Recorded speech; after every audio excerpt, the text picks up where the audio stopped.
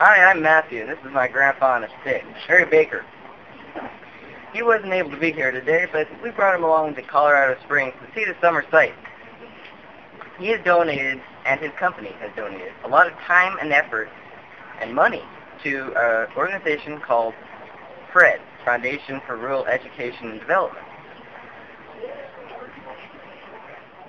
So what are you going to do if you win? Oh, right. if we win, we're going to donate the $5,000 to Fred, if he would want. But he's not here, so